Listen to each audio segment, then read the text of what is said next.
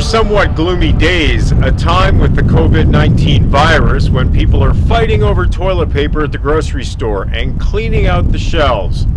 Let me tell you about a story here. It's called the Apple Bin, where you can come in, you can pick up your apples or your pears this time of year, weigh them out, put your money in a bin. It's all based on the honor system, and it seems to be working very well for customers. Some people even actually will put in IOU notes, which is really cute too, and will say how much they've taken that day, and then they'll put a note in the next day and say that they came back and paid it. So that's pretty cool. If people steal from our apple bin, then really I guess it's kind of out of our control.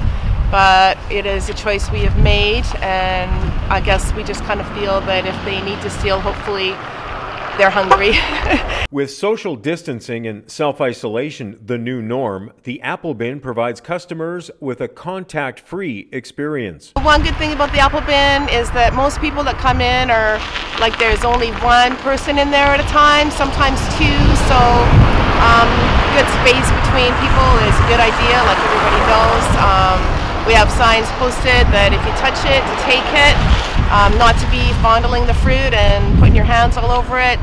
Um, you can also use a bag to touch the fruit and then put it into another bag. So we have a good supply of bags here.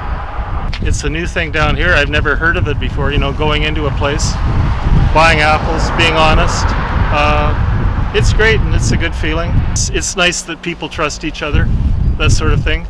There's not a lot of trust nowadays, so I like that aspect of it. Find the Apple Bin on East Side Road in Okanagan Falls, 24 hours a day, 7 days a week. For Castanet News, I'm Dale Corey.